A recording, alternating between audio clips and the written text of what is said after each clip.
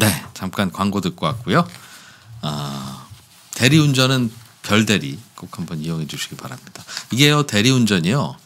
어, 어디를 전화를 해도 똑같아요. 그러니까 무슨 얘기냐면 대리운전 전화를 1588에 1588로 하던 뭐 앞뒤가 똑같은 걸로 하던 앞뒤가 뭐 제멋 제멋대로인 걸로 하던 달대리로 부르던 별대리로 부르던 그 주문 받아서 결국은 그 기사님들이 많이 계신 그 주문의 바다에다 던집니다. 그러니까 아, 뭐 어디다 전화해도 결국은 똑같은 기사님들이 온다 결국은 음, 그런 거니 그냥 저희 저 도와주는 대리운전으로 좀 불러주십시오.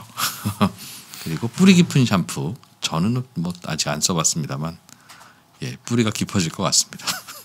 그리고 저희 3프로가 마련한 겨울 아카데미 사경윤 회계사의 온라인 강의도 어, 괜찮습니다. 네 오늘은 음, 신영증권의 리서치 센터장님 김학균 센터장님 모시고 어, 또 우리 피가 되고 살이 되는 이야기 좀 들어보려고 합니다. 어서 오십시오. 네, 안녕하십니까? 네. 김학균 센터장님은 이런 이야기도 잘해주시지만 스포츠도 좋아하시죠? 아, 스포츠 좋아합니다. 아. 네. 김학균 센터장님이 야구 책 쓰셨다고 하면 여러분들 안 믿으시죠? 어. 야구 좋아하시죠? 네, 야구 좋아합니다. 음. 근데 야구 보면서 좀 편하게 얘기해도 괜찮을까요? 어, 그럼요. 예. 요즘 뭐그 애널리스트 세계도 인공지능이나 이런 것들이 이제 좀 사람이 하는 일을 대체하지 않을까 이런 우려가 좀 있는데요. 음. 어, 직업인 입장에서는 네. 근데 프로야구라고 하는 게 전통적으로 엘리트들의 스포츠였습니다. 음. 선수 때 잘했던 사람들이 감독을 하고 근데 최근에 프로야구 감독들을 보면요. 음. 우리가 예를 들면 뭐 그 그분들의 사실은 지도자와 선수로서의 역, 역량은 또 다른 차원이라고 보니까 예. 프로야구 감독 됐다 그러면 뭐, 그뭐 성공한 뭐 스포츠인이라고 보는데요. 뭐 삼성의 그 허삼영 감독이라든가 음. 아니면 NC는 이동욱 감독이죠. 또 지금 저그 키움의 감독된 손혁 감독은 좀 유명한 사람이지만 네. 그 이전에 장정성 감독이라든가 음. 아니면 롯데 허문회 감독. 허문회 감독은 LG 때 대타로 나와서 가끔씩 한 방이 있었지만 어. 기본적으로 스타 플레이어 아니었거든요. 네. 한 10년 전에 프로야구단 감독들은 전부 다 뭐 선동열 씨, 한동 그 한대화, 음. 뭐 김성근 선수 뭐 때도 날렸던. 분들이 김시진 감독이었죠. 감독이었는데 야 이제 이 엘리트들의 그 영역이 음. 어떻게 보면은 그 데이터 팀이 여러 가지 구성들을 하고 음. 이제 감독은 정말 좀 인간성 좋고 음, 또 음, 프론트에서 그 고생했던 음. 좀 이제 인간이 가진 덕성을 가진 분들이 이제 지도자가 되다 보니까 음. 참좀 그런 위기감을 좀 느끼기도 합니다. 예, 세상의 변화에 대해서. 센터장님들도요. 센터장님도 감독 같은 역할이죠. 그, 그렇지 않습니까? 리서치 센터에 감독이면 감독인데 좀 냉정하게 보면 좀 사양 산업이라서요. 뭐가요? 리서치가요? 예, 그러니까 뭐 숫자로만 보면 한 10여 년 전에 음. 저 어, 리서치 활동을 하려 그러면은 그 리포트 쓰려면 저- 협회 등록해야 되거든요. 예.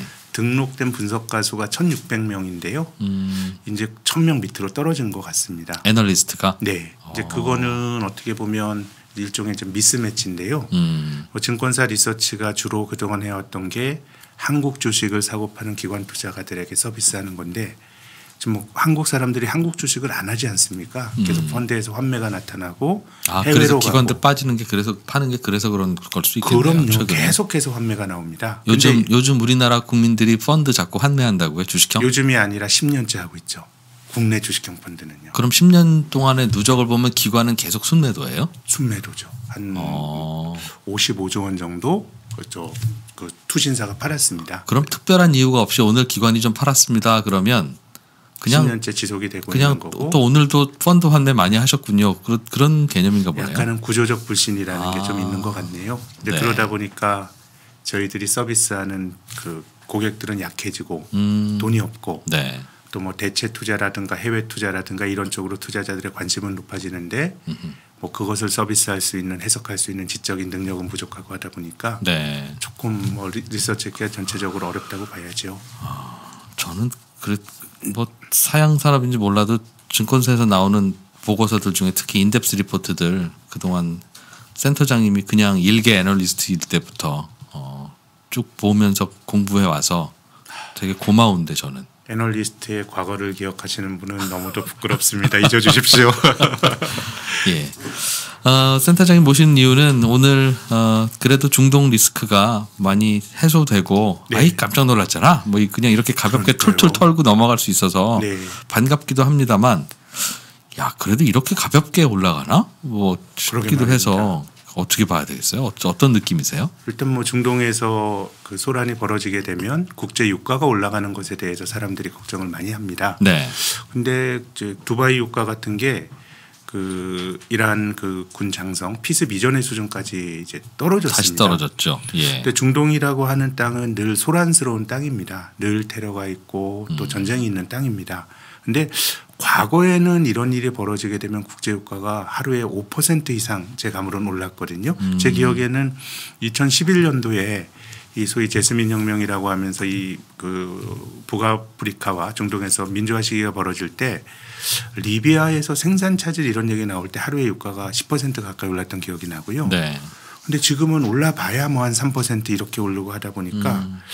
유가가 잘 못 오르는데 이게 뭐 많은 분들이 지적합니다마는 미국이 기름을 많이 생산을 하면서 세계 최대 산유국 되지 않았습니까? 이러다 보니까 쉐일 오일의 구조적인 이 공급의 증가가 음. 국제 유가를 좀 올라가는 걸 막는 것 같고요. 어허. 이러다 보니까 중동이 좀 소란스러워도 그 받는 데미지가 과거보다는 좀 많이 약해진 게 아닌가 싶습니다. 중동에서 무슨 일이 진짜 난다고 최악의 가정을 하더라도 음. 하더라도 그럼 쉐일 오일 덕해서 파는 미국도 있고 하니 예전보다는 네. 별일 없을 것이다 그런 근데 거예요. 최악의 상황을 생각을 해보면 예. 제 생각에는 최악의 상황으로 가면 좀 안 좋을 것 같아요. 어떤 의미냐면 지금은 미국이 어쨌든 개입이 됐던 거거든요. 미, 미국이 개입이 됐는데 어, 미국이 뭐 트럼프의 정책이 약간의 고립주의적인 정책도 있고 보호무역이나 이런 건데 정말 미국 경제가 좀 어떤 면에선 좋아진 것 같긴 해요. 원유도 자급을 하고 특히 그 원유 하는 데서 가스가 많이 천연가스가 많이 나오다 보니까 전기료도 싸지고 네. 뭐 이렇게 경제적으로 보면 굉장히 이제 자급할 수 있는 구조가 된 것 같은데 어 과거에는 그 미군이 중동에 시- 뭐 1, 20만 명씩 주둔했는데 음. 지금은 굉장히 주둔 이제 줄어들었는데요. 예. 미국 입장에서는 쉐일이 생산이 되면서 중동이 가진 지정학적 중요도가 떨어지다 보니 음. 제가 정말 걱정이 되는 거는 뭐 미국이 이라크도 때리고 중동에서 뭐 경찰 역할을 했던 건데 미국이 중동에 대해서 무관심해졌을 때 사우디와 이란 같은 나라가 붙으면 어떤 일이 벌어질까 좀 걱정이 되기도 합니다. 음. 이 사람들 원래 뭐 친- 민족도 다르죠. 아랍 민족과 페르시아 민족이고 순위파 시아파고 네. 굉장히 서로를 적대시하고 또 뭐 전쟁이나 테러에는 또 일가견이 있는 나라들이거든요. 음. 그래서 오히려 저는 뭐 미국이 뭐 중동에 증파를 하고 이런 것들은 뭐 큰 문제가 아니라고 생각이 드는데 미국이 좀 그 관심을 잃고 중동을 방치했을 때 중동에서. 자기들끼리 큰 일이. 벌어진다 그러면 제 생각에는 아. 통제가 좀 경험해 보지 못했던 그런 리스크가 될 것 같고 이게 어떻게 보면 쉐일 오일이 만들어지고 뭐 이렇게 되면서 음. 러시아가 우크라이나를 2014년에 공격을 했거든요. 네.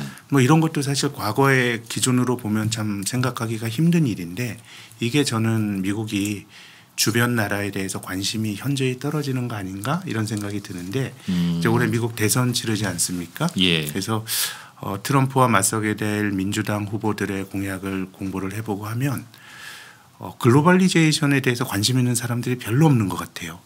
음. 기본적으로는 그것을 세계화를 복원하자가 아니라 네. 나름의 고립주의고 아 그냥 미국 미국 혼자 살고 싶다.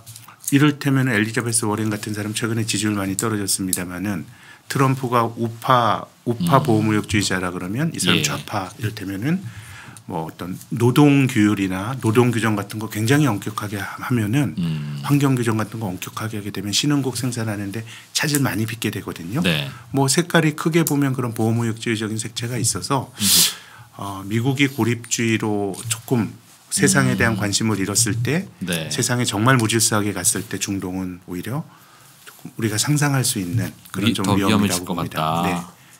뭐 아. 이 정도야 뭐 그냥 있을 수 있고 또 쉐일의 힘으로 음. 유가 올라가는 걸 어느 정도 제어하면서 뭐 비교적 뭐 우려보다는 좀 무탈하게 가는 그런 느낌입니다. 그런데 트럼프 정부의 방향성이 국제적인 분쟁에 가능하면 손 떼고 어, 그런 쪽으로 가는 거는 좀 불안해 보인다 그 말씀이죠. 그러니까 뭐가 좋은지 모르겠는데 예. 워낙 호전적이고 굉장히 적대적인 나라들이 있는 그런 상황에서 음. 어, 그 중간에 그 세력을 좀 그 균형을 잡았던 미국이 빠졌을 때 무질서가 조금 그렇죠, 걱정되긴 합니다. 사실 미국이 중동에 주둔했다 그러면 뭐 IS나 이런 게 뭐 국가 형식으로 많은 음. 지역을 장악하고 뭐 그럴 수 있었겠습니까? 그렇겠죠. 미국의 무관심이 만든 또 저는 현상이었다고 봅니다.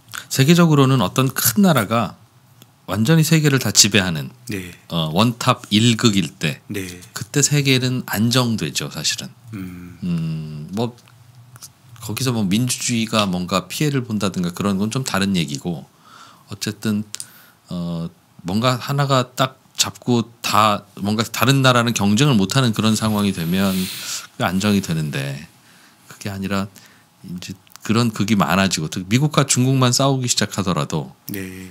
그러면 또 여기저기에서 미국이 뭐라고 하면 중국 쪽에 붙으면 되나 뭐 이러면서 네. 또 뻣뻣하게 나오기 시작하고 하면 저 예, 친구들을 힘들죠. 가만히 둘 예. 수도 없고 한 대 쥐어박을 수도 없고 어느 쪽에 줄설 아. 거냐라는 게 네. 지금은 이제 기업들은 아마존 플랫폼으로 갈 거냐, 구글 플랫폼으로 갈 거냐라는 선택을 막 강요받는 것 같고요. 예 국가는 이제 미국 쪽에 줄 설 거냐, 중국 쪽에 줄 설 거냐. 음. 이게 사실 금융시장에서 valuation을 하기 힘든 네. 전통적인 이슈는 아닙니다만은 뭐 우리 사드 이후에 음. 우리나라 뭐 기업들이 타격을 받고 이런 걸 본다 그러면 참 힘든 세상인 것 같긴 합니다. 음. 세상도 힘들고 분석하는 것도 힘들고. 예. 그렇겠죠 예 국제 유가는 그래서 예전처럼 그런 민감한 이슈까지는 아닌 것 같은데 예, 전반적으로 그래도 무질서하게 자꾸 세계가 돌아가는 거는 주의를 해서 봐야 된다는 네, 말씀이죠. 중동이 정말 막 나가게 되면 예. 뭐 우리처럼 중동 그래도 원유 수- 수입 의존도가 높은 나라들은 음. 조금 뭐 그 국면에서는 좀 어려움을 겪을 수가 있겠죠.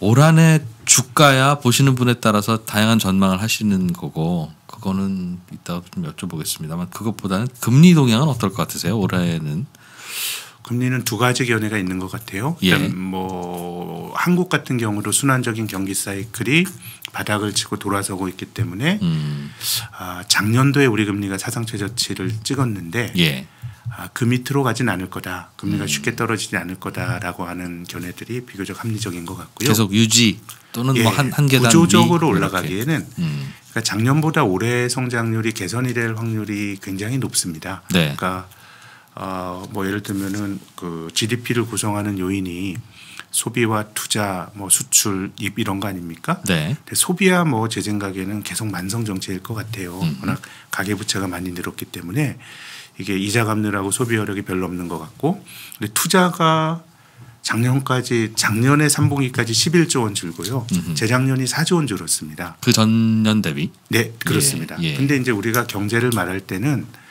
저성장이고 안 늘어나는 게 문제지 음, 줄어드는 거는 굉장히 이상한 일입니다. 자주 나타나지 않는 일인데 역사적으로 보면 기업 투자가 3년 연속 전적이 한국에 없었습니다. 네, 외환위기 때 2년 연속 감소, 또 글로벌 금융위기 때 2년 연속 감소. 음, 작년과 재작년까지의 2년 그 투자 감소한 15조 원은 예. 이미 글로벌 금융위기 때 감소한 폭보다 훨씬 더 크게 감소한 거거든요. 주로 그 투자의 감소는 설비 투자 감소도 있고 네. 건설 투자 감소도 있는데 근데 지금까지 설비 투자, 설비 투자에서. 설비 투자를 말씀드리는 겁니다. 네. 설비라고 하면 네.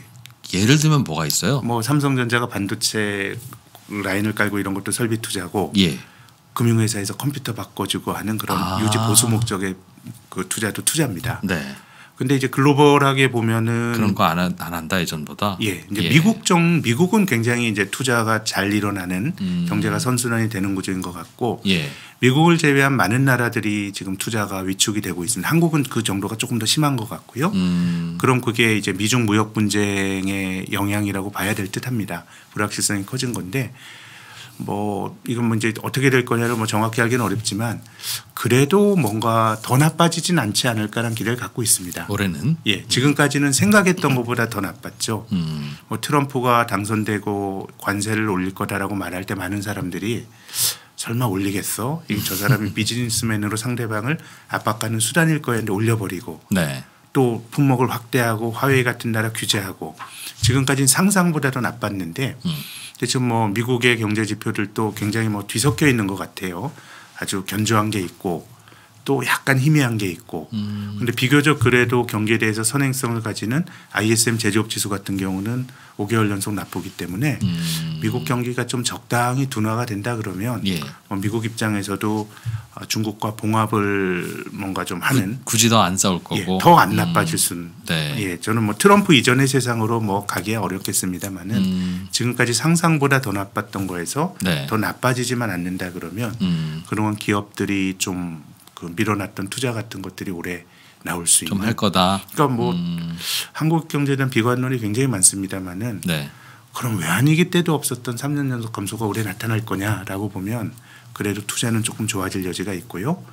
뭐 수출은 12월 수출 감소폭이 많이 줄었고 지금 반도체 디램 가격이 생각보다 빠르게 올라갑니다. 음. 한달 동안 10% 넘게 올랐거든요. 네. 현물 거래가가 음. 수출도 좀 개선이 된다 그러면 작년보다 성장률은 개선이 될 것 같고 음. 그럼 금리는 한국 금리는 어느 정도 바닥은 뭐 찍고 한 방향으로 가긴 음. 좀 힘든 거 아닌가라는 생각입니다. 다만 작년보다 올해 성장률이 좋아지더라도 이게 내년에 또 좋아질 거냐 음. 뭐 이런 것들에 대해서는 불확실성이 너무 크기 때문에 제 생각에 채권 금리는 올해는 어떤 추세를 나타내기보다 위도 막혔고 아래도 좀 막혔다 트레이딩하는 그런 네. 마켓으로 이제 가는 거 아닌가 싶습니다.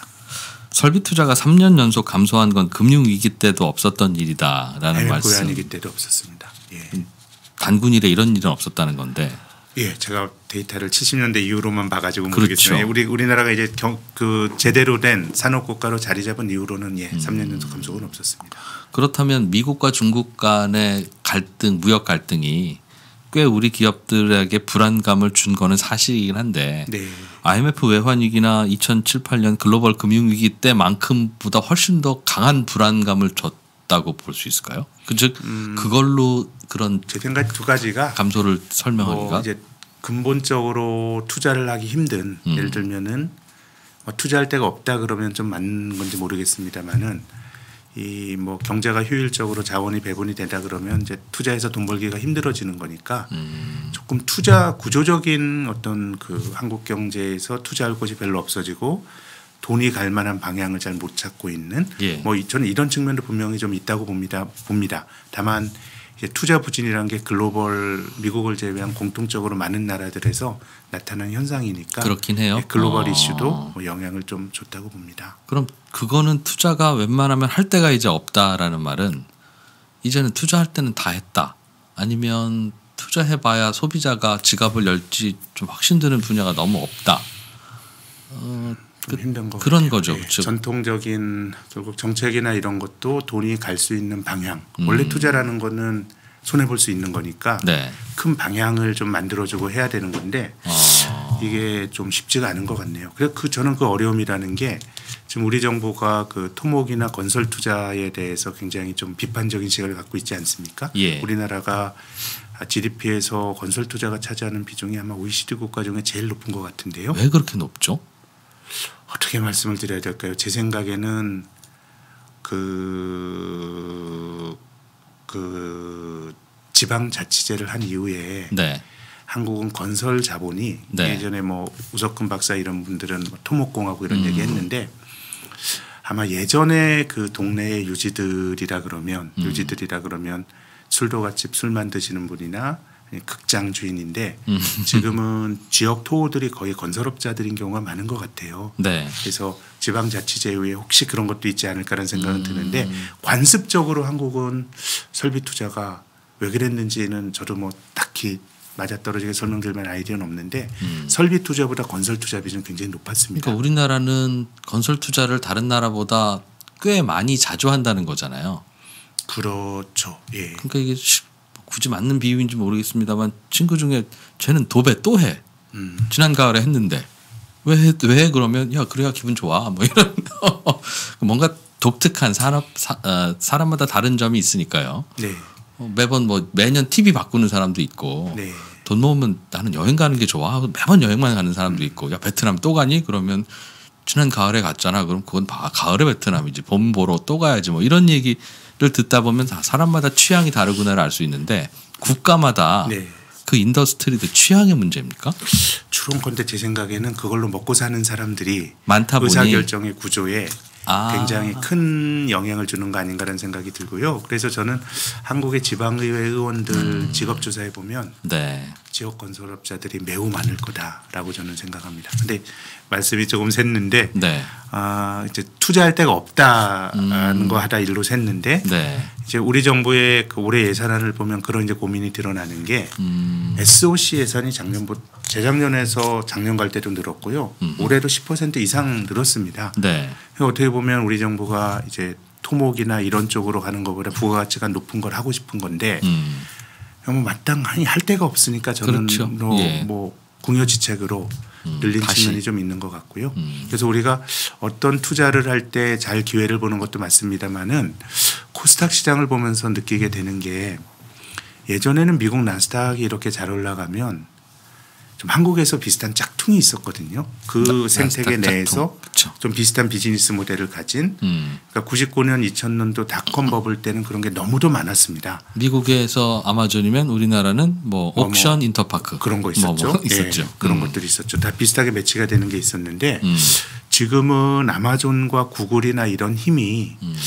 너무 세진 게 아닌가? 이제 한국에서 제2의 아마존이 뭐 쿠팡 뭐 이런 거 거론이 됩니다만은 네. 비즈니스의 영역이나 이런 걸로 보면 비교하기 좀 힘들다고 생각이 되고요. 음. 한국을 제외하고 어느 나라도 미국의 짝퉁이 없어지는 것 같아요.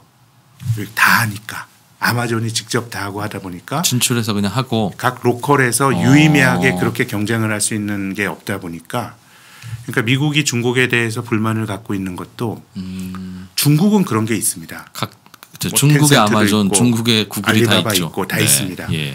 뭐 중국이 기본적으로 경제 규모가 크기 때문에 기업들이 기회를 찾는 측면이 좀 분명히 있다고 보고요. 음. 그래서 저는 미국의 지적도 중 좀 정당하다고 생각하는데 너희들이 불공정하게 경쟁을 하고 있다라고 하는 시각이 좀 있는 거죠. 칸막이 막아놨다는 거죠. 중국 시장은 못 들어가게 강제로 막냐 뭐 왜? 구글이나 이런 거막 막 막 검색도 안 되고 뭐 그러잖아요. 네, 이제 예. 그러다 보니까 이제 미국은 그런 것들이 불공정 경쟁의 결과다라고 해석을 하는 것 같습니다. 자기들의 시각으로는 네. 어쨌든 어 뭐 좀 충분한 돈이 흐를 수 있는 그런 방향들 이런 것들이 막혔다. 별로 없다 보니까 아. 자꾸 좀 사고도 나는 거 아닌가 그런 생각도 듭니다. 뭐 여러 가지 뭐 5, 6% 벌려고 여기저기 갔다 지금 음, 많은 사고가 맞아요. 나잖아요. 그렇죠. 잘 디- 모르는 뭐 DLF도 그랬고. 예, 뭔가 음. 생산성이 높은 쪽으로 갈 만한 방향을 네. 어, 사실 그 기술에 대한 투자라는 게 사실 버블인 면도 있거든요.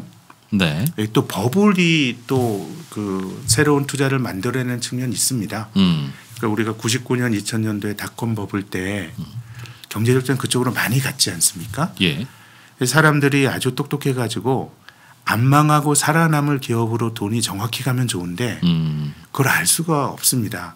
네. 그러니까 이게 미국식 나스닥의 모델이 저는 굉장히 그 비용이 큰 모델이라고 생각하는 게 한 industry로 가게 되면 돈이 전체적으로 막 갑니다. 음. 그 중에서 망하는 기업들도 나오고 살아남은 기업도 나오는데 살아남은 기업이 생태계를 바꾸는 게 저는 미국식의 나스닥 모델이라고 보는데요. 네. 우리나라가 그 2000년대 초에 코스닥 시장에 소위 닷컴 기업들이 많이 나올 때 많은 이들이 이제 시간 지나면 우리가 쇼핑도 컴퓨터에서 하고 손편지 안 쓰고 이메일 보내고 그런 세상을 꿈꿨는데 음. 그 세상이 열렸어요. 네. 그러니까 그 판단이 투자자들은 맞았지만 기업들은 다 망했죠. 그때 있었던 코스닥이 시가총액 15개 중에서 음. 살아남은 게 지금 6개밖에 없거든요. 네. 그러니까 그 판단은 맞았지만 바뀐 세상에서의 주역이 전혀 다른 기업이었다는 겁니다. 음, 음, 네이버 같은 경우는 심지어 닷컴 버블 때 상장도 안 음. 됐었고요. 그랬었죠. 구글도 나스닥에 상장이 안 됐습니다. 음. 근데 닷컴 버블이 있다 보니 그 돈이 네이버로도 가고 구글도 가면서 음. 살아나온 기업이 이제 생태계를 바꾸는 네. 이제 그런 거거든요. 구조인데. 근데 예. 다 결국은 버블 때문에 코스닥 투자했던 분들 많이 손해 보고 했지만 그래도 인터넷 전용망은 남았거든요. 음, 음. 기업들은 망해도 네. 인프라는 예, 남는 예. 겁니다. 그래서 모든 버블은 다 뭐 상처가 있고 나쁘지만 음. 기술 버블은 그래도 뭔가 주주들은 손해를 보더라도 사회적인 뭘 인프라는 좀 남는. 건데 예. 참 힘든 것 같네요. 우리 정부도 4차 산업혁명 뭐 이런 얘기들 하지만은 마땅하게 돈이 좀 전략적으로 굴러갈 때가 별로 없는 거 아닌가? 못 음. 찾는 거 아닌가? 뭐 음. 그런 생각은 듭니다. 전 세계가 잘 못 찾고 있죠, 사실은.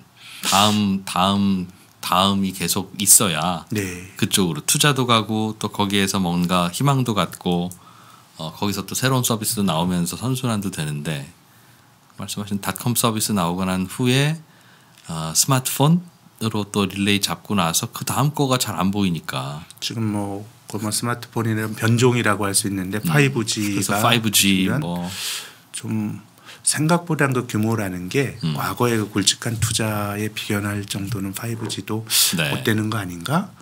라는 생각입니다. 뭐 삼성전자나 이런 뭐 음. 반도체 만드는 기업들 입장에선 그 비즈니스가 계속 커지는 건데 네. 전체적으로 놓고 봤을 때는 글로벌하게 돈이 굴러갈 때가 좀 별로 없는 거 아닌가? 그래서 생각입니다. 음, 우리나라도 설비 투자도 그것 때문에 줄어드는 것 같기도 뭐 하고 그런 영향도 전 분명히 있다고 봅니다. 어. 예. 미중 무역 분쟁도 물론 중요한 요인인 것 같고요. 그렇다면 뭔가 좀 상승할 이유는 그래도 작년에는 바닥 찍었으니까라는 이유 정도지 주식이요. 주식도 그렇고 뭐 지표들도 그렇고 아. 어, 그러나 이제부터 자 이제 안전벨트 매시고 올라갑니다는 아닐 거라는 음. 쪽이 강한 뉘앙스인데요. 저는 뭐 주식은 그냥 장기 박스권으로 봅니다. 예. 작년보다 올해가 좀 나아지지 않을까 이런 음. 생각은 갖고 있긴 한데 큰 틀에서의 뭐 박스권의 범주를 벗어나긴 좀 힘들 것 같고 또 주식시장의 역사를 보면 주가가 장비 횡보했던 사례들은 되게 많습니다. 네. 제가 그 어, 89년 4월 달에 종합주가지수 1000포인트 음. 됐을 때 제가 그때 대학에 들어가서 정 경제학을 전공하는데 3월 한 달 동안 뭐 등록금 깎아달라고 수업 하나도 안 하다가 첫 수업을 4월 초에 했는데 네. 경제학 원론 선생님이 경제신문 가지고 들어와 가지고 음. 그때 헤드라인이 주가지수 사상점 1000포인트 돌파였습니다. 네. 그때 선생님이 야 너네 선배들은 다 은행에 취직하고 그랬는데 너네는 시장에서 음. 해야 된다라 그랬는데 그때 본 1000포인트를 완전히 돌파한 게 2005년이었습니다. 16년 동안 시장에 헤맸던 경우들이 있고 대만 같은 경우도 주가가 음. 경제가 활력을 잃으면서 굉장히 뭐 올- 작년과 올해 성과 작년 성과는 좋았습니다마는 기본적으로 대만 가권 지수의 고점은 90년대 초입니다. 음. 이렇게 횡보하는 나라들이 되게 많고 미국 같은 경우는 명실상부하게 뭐 한 10년 옆으로 횡보한 이런 사례는 있지만 그래도 우상향으로 올랐던 성과가 좋은 시장이고 음. 굉장히 횡보했던 사례들이 많기 때문에 뭐 한국도 저는 뭐 그런 정도 시장 아닌가 음. 생각하고 있습니다. 미국만 독주네요. 전반적으로. 근데 미국은 기본적으로 좀 주주를 과잉 음. 어, 우대하는 예. 기업들이 벌어들인 것보다 막 자사주를 더 사고 뭐 음. 이런 문화들이 좀 이제 존재하는 것 같고요. 네. 어, 그렇지 않다 그러면 뭐 일본도 장기 투자가 된다고 말할 수 있을까요? 일본도 아베 이후로 주가가 좋아지긴 했습니다마는 음. 크게 보면은 어, 과거에 봤던 엄청난 고점을 아직 못 넘기고 있는 그런 상황이고 예. 그러다 보니까 한국도 이걸 그냥 normal로 받아들이고 음. 저는 대처를 하는 게 맞다고 봅니다. 물론 개별 종목 하나하나야 잘 선택을 하게 되면 뭐 큰 기회를 볼 수 있겠습니다마는 네. 시장 전체적으로 본다 그러면은 조금 구조적으로 level up이 되긴 좀 힘든 거 아닌가. 또 비슷한 맥락에서 말씀을 드리면 아, 요즘 삼성전자와 SK 하이닉스가 정말 잘 오르지 않습니까? 네. 근데 삼성전자가 우리나라 코스피 시가총액의 한 22% 차지하고요. 하이닉스도 이제 한 6% 됩니다. 두 개가 28%인데요. 네. 작년에 하이닉스가 55% 올랐습니다. 네. 삼성전자가 44% 올랐습니다. 음. 그러면 우리 증시 우리나라가 뭐 반도체 공화국이다, 삼성전자 공화국이다 뭐 그런 얘기 하는데 그 number one, two 기업이 그렇게 4, 50% 올랐으면 음. 다른 게 어느 정도 하면 주가 지수가 2,700, 800 가야 되는데 지금 평균만 쳤어도 2,200이란 건. 다른 게 엄청 못 오르는 겁니다. 네. 그래서 삼성전자와 SK 하이닉스를 빼고 주가 지수를 한번 계산해 보면은 음. 한 1,700밖에 안 되는 것 같은데요. 지금보다는 500 포인트 정도가 음. 낮은 그런 상황이니까 뭐 삼성전자와 하이닉스가 잘 된다 그래서 한국 코스피가 뭐 올라갈 수 있다 이런 얘기도 음. 그들 종목에 대한 의존도가 높긴 합니다만은 다른 게 너무 부진하면은 안 될 수도 있다는 걸 우리가 작년에 경험한 것 같습니다. 그래서요. 그래서 그 고민이 그래서 고민이 그 동안에는 올해는 반도체가 올랐으면 뭐 다시 순환매로 주, 조선도 가고 왜 세계 경제라고 하는 게 그게 뭐 다 돌고 돌면서 경기 좋아지면 TV도 필요하고 가구도 바꾸고 하는 거지 어떻게 뭐 컴퓨터만 바꾸니 그러니까 돌고 돌면서 다 한 번씩 오르는 거야. 그게 깨지는 거 아닌가 싶어요. 즉 음, 어, 80대 20의 사회는 예전부터도 얘기는 해왔습니다만 그 양극화가 점점 더 크게 진행되고 있고 그게 왜 진행되는지는 굳이 설명 안 해주셔도 다들 그래 그렇게밖에 못 가지 하지 않겠어요. 그렇다면 국가들도 그렇게 양극화되는 게 아닌가. 즉 상위권 잘 나가는 한두 개 국가들만 다른 나라들에 비해서 굉장히 잘 되고 잘 된다는 이유로 또 잘 되고 또 잘 되니까 더 잘 되는 이제 그런 상황이 오면 그래서 이제 미국만 저렇게 되는 거 아닌가? 그럼 네. 삼성 우리 삼성전자와 하이닉스는 뭐냐면 사실은 글로벌 기업이잖아요. 글로벌 기업이죠. 어, 네. 이, 이, 다행히 우리나라에 있으니까 그냥 우리나라 회사인가 보다 하지만 음, 우리나라에 있는 기업 아니라도 전혀 어색하지 않은 그럼요. 그렇게 되어 있어서 주식의 소유 구조만 해도요. 외국인들이 뭐 예. 57% 이렇게 들고 있으니까요. 오너십으로 봐도 음, 한국 사람보다 외국 사람 주식을 더 많이 가져 있죠. 네. 그래서 만약 투자자의 마음이라면 국가에 투자한다면 상위권 국가 뭐 미국 뭐 아니면 뭐 중국 중국이 약간 좀 저 나라 저러다 거꾸러지지라는 생각이 들면 좀 다른 나라든 아니면 뭐 미국 몰빵이든 주식도 아주 잘 나가는 회, 저 업종에만 계속 집중 투자하는 게 그게 맞는 건가? 많이 올랐다는 이유로 다시 돌아가서 이제 다른 안 오른 걸 봐야 되는 건가? 이 큰그 화두가 네, 네. 고민일 텐데. 좋은 거는 비싸고 네. 싼 거는 좀 흠이 많아 보이고 좀 그런 것 같죠. 그렇죠. 그래도 그래도 우리는 저렴한 거 사서 얘 오르를지 봐야 되는데요.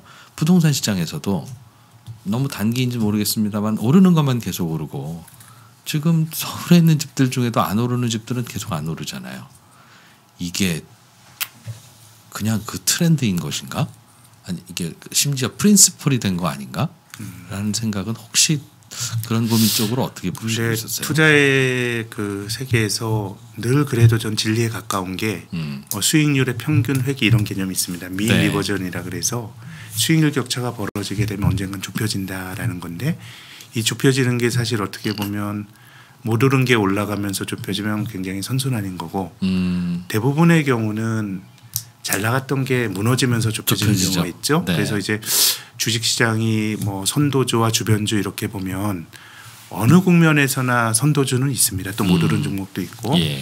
근데 대부분의 경우는 선도주가 꺾였을 때 주변주가 같이 올라간다 그러면 참 시장이 조화로운데 음, 주변주는 한 번 더 꺾입니다. 네. 꺾일 때 다시 어. 꺾이면서 리셋이 된 다음에 새로운 주도주가 나오는 게 일반적인 이제 모습이었던 것 같고 음. 다만 이제 저는 올해 한국 시장을 보는 생각은 아주 글로벌하게 여러 가지 asset을 선택하는 나- 사람이라 투자자라 그러면 굳이 뭐 한국이 우선순위에 못 오를 수도 있다고 보는데 음, 어느 나라 투자자나 home bias가 있거든요. 예. 한국 사람은 한국 주식을 잘 알고 음, 예전에 이제 일본 사람들이 일본 자산 시장이 안 될 때 뭐 일본의 금융기관들이 해외 투자를 많이 늘렸는데 제가 과거에 일본의 금융기관 좀 찾아가서 이렇게 인터뷰를 해보면 이구동성 참 해외 투자 힘들다.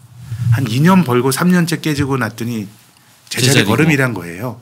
왜, 왜. 깨졌죠? 그러니까 그게 그 지식의 부족, 아, 정보의 그렇죠. 부족 뭐 아. 이런 것들이 그렇게 본다 그러면 이제 한국 음. 사람들은 기본적으로 한국 에셋에 대해서 네. 그래도 specialist라고 본다 그러면 음, 뭐 올해 같은 경우는 한국이 뭐 장기적으로 그렇게 growth가 많이 나오는 사, 그 국가는 아닙니다만은 그래도 오른 게 없고 하기 때문에 뭐 자산 배분에 있어서는 그래도 한국이 조금 더 낫지 않을까? 한국 사람이기 때문에 그런 생각이 드는데 전체적으로 그런 양극화라든가 이런 부분들은 그러니까 한국이 되기 위한 전제 조건 중에 하나도 네.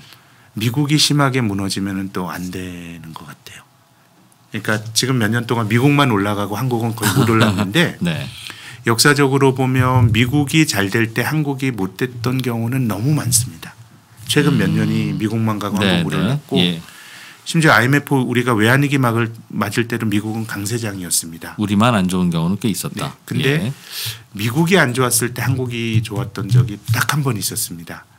그때가 2001년 4분기와 2002년 1분기인데요. 예. 그때 어떤 일이 벌어졌냐 하면 외환위기 직후에 그 위기에서 빨리 벗어나기 위해서 음. 당시 김대중 정권에서 내수 부양 정책을 세게 했었습니다. 아 카드 발급 등등. 그렇죠. 어. 부동산 규제 완화하고 그냥 그 소득 없는 대학생들도 막 카드 만들게 하고 네. 그 내수 버블의 힘으로 우리 시장이 두 분기가 음. 미국이 무너지는 가운데 어, 한국이 디- 소위 말하는 디커플링이 나타났던 적이 있었고 음. 지금은 그런 버퍼가 거의 없기 때문에 네. 뭐 미국이 그런저런 버텨준다 그러면 그래도 한국이 뭐 사이클도 좋고 하기 때문에 올해 좀 기회가 있다라고 보는 쪽인데 음. 미국이 심하게 무너지면 한국도 되기는 좀 힘들지요. 예. 음. 그래서 올- 올해는 좀 안 올랐던 한국 쪽 주수가 괜찮을 것이다. 경기는 이제 지금 돌아서고 있으니 예. 어, 한 상반기 정도까지는 뭐 미국이 뭐 심하게 무너지지 않는다 그러면 음. 한국 쪽에서 좀 기회가 있지 않을까 생각합니다. 경기가 돌아선다는 건 어느 어- 어느 지표들을 음, 뭐 대표적으로 경기 선행 지수 같은 게 통계청에서 만드는 경기 선행 지수가 코스피와 되게 좀 상관성이 높습니다. 비슷하게? 움직입니다. 예, 예. 예. 주가도 경기 선행성 가진 거고 경기 음. 선행 지수도 선행하라고 만든 거니까요. 지금 경기 선행 지수가 8월에 저점을 치고 한 3개월 정도 올라섰고요. 네. 또 OECD에서 만드는 경기 선행 지수가 구성 항목이 좀 다른데요. 음. 그거는 9월에 저점을 치고 10월에 살짝 음. 좋아져서 이게 추세인지 모르겠지만 비슷한 사인들이 나오고 있고 수출 둔화율도 음. 감소율도 12월에 많이 줄어들어서 네. 이게 뭐 구조적으로 대단히 뭐 탄성 높은 회복으로 간다 이렇게 보기는 어렵습니다만은 또 작년과 올해를 본다 그러면 조금 음. 좋아지는 그래서 한국은 나빠져봐야 얼마나 나빠겠어 지금보다 라는 더? 생각이고 음. 미국은 굉장히 좋아 보이긴 하는데 얼마나 더 좋아질까라는 음. 생각이 드는 거죠 저는 네. 한국은 보니까 그래도 중국이 좋아야 많이 좋더군요. 주가나 경제나 경제나 네, 뭐 네. 의존도가 높아서 그래서 중국을 좀 고민하고 예측을 해봐야 될 것 같은데 중국은 어떻게 보세요? 중국은 그래도 뭐 중국도 미중 무역 분쟁 때문에 뭐 고통을 받았던 나라니까요. 음, 뭐 그런 어떤 그 경제 외적인 갈등이 좀 완화된다 그러면 예, 중국도 작년보다는 조금 뭐 음. 성장률이나 이런 거 말고요. 네. 성장률은 경향적으로 둔화가 되더라도 조금 작년보다 나아질 여지가 있지 않을까라는 생각이고 음, 다만 어떤 자본주의 경제든지 간에 다 빚내서 경, 성장한 경제가 네, 소프트 랜딩을 한 적은 거의 없습니다. 근데 중국은 굉장히 이제 구조는 안 좋지만 음, 순환적으로 보면 올해는 그래도 중국도 좀 낫지 않을까 작년보다 그런 음. 저희는 기대를 가지고 있습니다. 그렇군요. 올 한해 이것저것 걱정스럽긴 한데 그 걱정하기에 또 그럴 겨를도 없을 만큼 중동에서는 이런저런 일도 벌어지고 있고, 음, 그러고 있어요. 미국도 어떻게 변할지 참 미국이 트럼프 대통령이 된 이후에 미국도 참 많이 변화해 있어서 저분 다음은 어떻게 될까? 뭐 이것도 좀 고민인 것 같고. 요즘 요즘 하고 계시는 고민의 화두를 한 개만 던져주시고 오늘 좀 마무리하죠. 뭐 저는 네. 지금 뭐 소위 세상에 많은 스트롱맨들이 예, 괴팍한 정치인들이 나오는데 그 본질은 안 풀리는 내부의 문제를 외부의 적으로 저는 적을 찾는 데 있다고 봅니다. 음, 영국의 브렉시트도 뭐 마찬가지잖아요. 근데 네. 그 내부의 불평등한 게 크게 보면 그 양극화의 프레임으로 볼 수도 있고요. 음. 자산 시장과 실물 경제의 괴리? 괴리인데 음, 영국은 산업 생산이라고 하는 기본적인 가장 기본적인 생산 지표가 글로벌 금융위기 때 수준도 못 올라왔습니다. 음, 네, 10년 지났는데 예. 근데 지금 주가나 집값은 많이 올라가잖아요. 음, 그러면 이제 이렇게 안 풀리는 문제를 일차적으로 찾기 쉬운 거는 외부의 적을 통해서 이제 찾는 거죠. 예, 그래서 이게 보호무역이라는 형태로 나오는데 기업 내에서는 저는 기술이 노동을 소외시키는 면이 좀 있는 것 같아요. 음흠. 소위 판 기업들이. 음, 그래서 미국과 중국이 많이 싸웠는데 중국은 버틴 대로 버틴 거고요.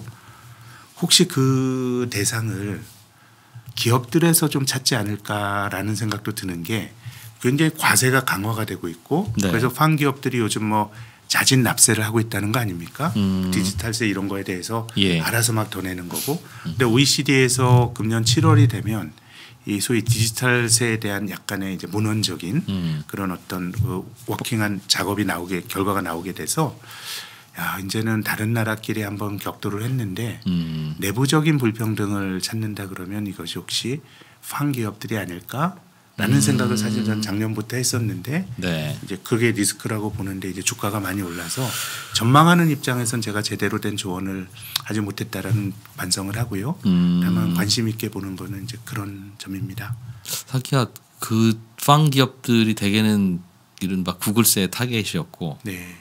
요즘 돌아가는 뉴스들 보니까 말씀하신 대로 현지에서도 세금 많이 내게 되고 네. 또 돌아가서도 많이 혼나더군요. 미국 오히려 가서 저는 그 페이지 2에서 나온 그 책 뭐죠? 예, 그 단독점에 대한 변호사님이 쓴. 책 예. 위대한 교배 시대인가요? 예, 그 책 읽어봤는데 이게 좀 한번 그런 고민들을 해봐야 된다고 봅니다. 음. 우리나라 지금 배달의 민족 그 독일 업체에 합병이 됐는데 이게 뭐 좀 허가를 내주네 안 주네 정, 그런 얘기 하잖아요. 음. 한편의 프레임으로 보면은 경제에 대한 과도한 개입으로 볼 수 있는 영역도 있고 네, 근데 이게 또 한쪽으로 힘이 쏠리는 거에 대한 또 견제일 수도 있고 음, 근데 기업들이 저는 너무 커진 거 아닌가라는 그렇죠. 생각합니다. 예. 예, 소위 FANG이라는 게. 음. 그 당장 내년 후년만 해도 세금 내는 게 훨씬 늘어날 것 같아서 그 기업들 valuation도 다시 해야 되는 게 아닌가. 근데 이거는 뭐 다 그런 건 들었어요. 아닙니다만은 예, 아, 의외로 그런 기업들의 valuation에 대해서 사람들이 잘 신경을 안 쓰는 것 같아요. 제가 아마존 주주들 꽤 되거든요. 그래서 너 아마존 PR이 몇 배인지 아니 그러면 그 계산을 왜 하는데? 왜 촌스럽게 아마존의 어, PR을 계산하고 그런 반응인데 어, 음. 이런 것들이 조금 뭐 굉장히 훌륭하긴 합니다만은 그렇지. 좀 과잉이 있다라고 어. 저는 보는 쪽입니다. 그, 그런 거죠, 그렇죠? 그죠? 어. 초등학교 2학년이 밖에 가서 뭐 얼마나 벌어오겠어, 뭐 그 얘기 하는 이야기인데 알겠습니다. 아, 그 그걸 보시는군요. 그러니까 양극화에 따른 어, 내부의 불만, 네. 갈등, 중국이 저기야 했는데 음, 또 혹시 내부적으로 그런 타깃을 찾지 않을까? 있겠죠. 우리나라도 그럴 것이고 그게 여러 가지 갈등도 일으키고 할 텐데 알겠습니다. 아, 이런저런 이야기 두서없이 던졌는데도 다 맥락을 갖춰서 말씀을 주셔서 고맙습니다. 네, 금요일 저녁에 시간 내주셔서 감사하고요. 저희는 신영증권의 김학균 리서치 센터장님과 함께 아, 세계 경제 걱정을 좀 오늘 나눠봤네요. 휴일날은 뭐 하세요? 아 뭐 책 많이 읽으시기로 아주 유명하시던데. 예, 또뭐 음. 아기도 보고 그렇습니다. 믿어지지 않으시겠지만 제가 다섯 살짜리 쌍둥이 아빠입니다. 첫 다섯. 살? 예. 첫 아이? 집에 가서 동화책 읽어주고 숨바꼭질 하고 이렇게 놀아줘야 됩니다. 오늘 퇴근하고 어머나 어머나 어머나. 아 쌍둥이 또 일- 일란 성이에요? 아 이란성 일란성 쌍둥이 성그 젠더는 같아요? 다릅니다. 아 예. 한 친구는 아들 한 친구는 딸. 그렇습니다. 으아. 아마 저희 비주얼을 보면 다들 상상을 못하실 텐데 뭐 그렇게 살고 있습니다. 와. 얼른 가셔서 힘내서 놀아주세요. 예. 예, 그래야 될 것 같습니다. 야, 딱요 요 포인트 하나가 내가 제가 이제 센터장님한테 advice 해줄 수 있는 것이군요. 예. 그때가 좋아요. 아, 감사하겠습니다. 네, 1월 10일 퇴근길 페이지 2 여기서 마무리하겠습니다. 아,